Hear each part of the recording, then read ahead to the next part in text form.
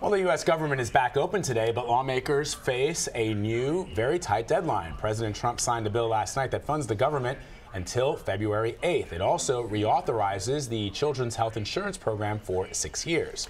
Now, Senate Majority Leader Mitch McConnell said that he intended to take up immigration and DACA in February, but there are new questions over just how this shutdown affects the U.S. on the international stage. For more on this now, we want to bring in Alex Kliment. He's a CBSN contributor and signal writer for GZero Media part of a new partnership between CBS News and GZero Media, a Eurasia Group company. That's a lot there. Um, so yeah, you know, we've been talking about this whole shutdown as a, you know, a domestic issue, but kind of like almost a bit of a speed bump. I mean, we had the weekend and then one real day of closure. Now the government's back open. I never even really considered what other countries were thinking as they were watching us. Sure. Well, first of all, it makes the U.S. look quite bad, right? Mm -hmm. I mean, people around the world look and they say, this is the this is the richest country in human history. Why can't they even fund their own government. Right. right. I was down in Argentina last week and people were like, how, how is this possible, right? Argentina. Um, the second thing is that it makes democracy itself look not so attractive, right? People look at the dysfunction, they look at the polarization, they look at the squabbling, and they mm. say, maybe the system isn't so great. And actually, if you look at polling around the world in the past couple of years, people's the, the, people's idea that authoritarianism is a better way to get things done that's growing in a lot of countries. If that's you look terrifying. at polling, um, and of course, you know, no country makes more hay out of this news than China, right? The state news was trumpeting this as an example of dysfunction, chronic problems in the U.S. system, and it comes at a time when the Chinese, of course, are advancing their own vision.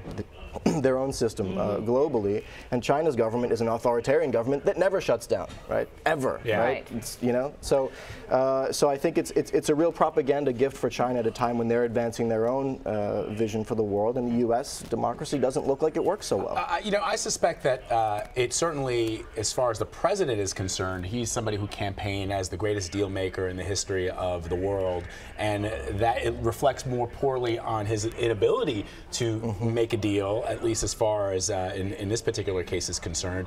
I, I, thought it was interesting that the conservative writer Erick Erickson had this tweet. The fact that our government can shut down from time to time is actually a sign of our greatness. An actual authoritarian government would never shut down because the back and forth between parties and competing desires of voters would be ignored completely. Mm -hmm. I mm-hmm. actually think that makes a lot of sense. It's true. Look, I mean, the reason that the government can shut down is because we have a presidential veto, we have filibusters. These are institutions of democracy that can keep, you know, these are checks and balances. I think the problem is when you have a situation that things are so polarized that those checks and balances actually become obstacles to action, mm right? Um, I'm certainly not here to tell you that authoritarianism is a better system sure. than democracy, and believe me.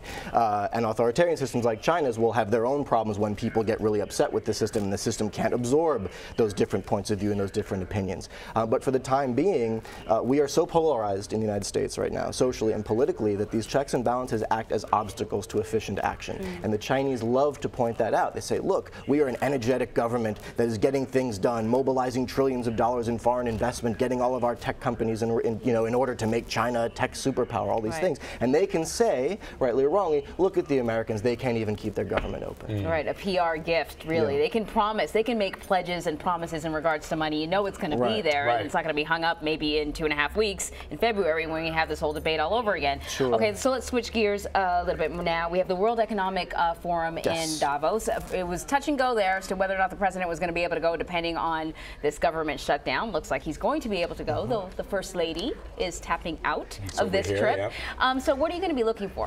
Well, I think, you know, Davos also is going to be a scene of different kind of competing views for what the world should look like. Mm -hmm. President Trump is going to go to Davos with his America First message, which in a lot of ways is a rejection of the globalization and multilateralism that Davos has really always been about.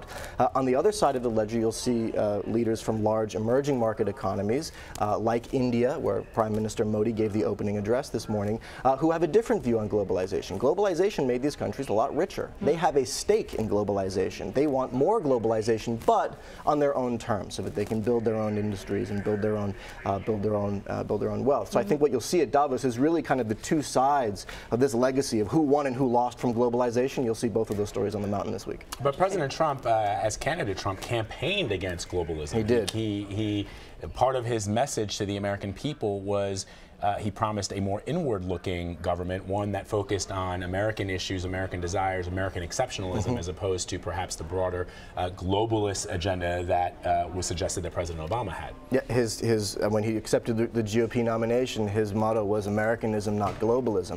Uh, and, so it, and that's why it's so fascinating that he's actually going to Davos. What message will he deliver? Uh, I have to expect that he'll be delivering that message to, you know, this is the bastion of globalism, right? Steve Bannon, right, back when Steve Bannon and, and Trump were on good terms. When Steve Bannon was Trump's uh, campaign strategist, he said, we are running against the party of Davos, meaning we are running against globalization, running against globalism. So Trump will take that message with him to Davos this, uh, this week. Uh, what I find interesting is that these, there's this whole other uh, part of the world, uh, emerging market economies that have gotten really wealthy off of, of globalization, which are going to come with a different message. President Xi Jinping of China addressed Davos last year and said, China is now the new guardian of globalization, right. a very particular kind of globalization globalization, uh -huh. right? Just ask American firms who are doing business in China how easy it is to, to, to, be global firms there these days. But the Chinas and the Indias are trying to claim the mantle of being the new leaders of a new globalization, a new globalism, as the U.S. steps back. But I, I suspect that it is easier, if you're right, China is one exception, but when you have a major democracy like India saying, look, we are prepared to take on that mantle, and then you have other countries that are closer to us here in the West, France uh, and Germany, that mm -hmm. have. Also embraced globalism, perhaps the message to President Trump will be, look, you're not the only game in town anymore. Yeah. Mm -hmm. um, you and Britain, with the Brexit uh, decision, are now the outliers, and the rest of the world is moving in sync, in concert, towards a, a resolution that benefits at least those people in yeah. those countries. Which should be the predicted outcome for him. Right. Uh, but I wonder if that's what he would really want to hear. Well, you know? it's it's been many years that the U.S. wasn't the only game in town. Now right. the difference is that we have a U.S. president who is deliberately pulling the U.S. out of that mm -hmm. game right? I mean, U.S. influence and econ relative economic power has been declining for years as the Chinas and the Indias and Southeast Asias grew economically. Um, but the difference is that Trump has come in saying, you know what, not only are we get, the, the United States does not see an interest in playing that traditional role as an advocate and guarantor of globalization. Mm -hmm. That in fact, from his perspective, it's better for the U.S. to turn away from the world in a lot of in a lot of uh, respects. By the way, yep. just an aside, something I read in the Washington Post yesterday: the president likes to imitate the accent of Prime Minister Modi, uh, the Indian Prime Minister. You're kidding That me. was in the, reported in the Washington Post, actually on a story regarding Afghanistan, but somehow the, it escaped a lot of people's well, attention. It did not escape the attention of, of South Asian journalists here, uh, South Asian American journalists, and Indian journalists in India. Fake news, totally fake news. I exactly. bet, I bet. All right, so we always love to wrap up with hard numbers. Let's do it. Number one, 90,000. 90,000. In all 90,000 of Turkey's mosques over the weekend, there were conquest prayers in support of the government's intervention in the Syrian civil war. Hmm. Uh, Turkey, for decades, was a bastion of state-backed secularism. Under President Erdogan, the country has embraced a much more Islamic form of national identity. Yeah. Hmm.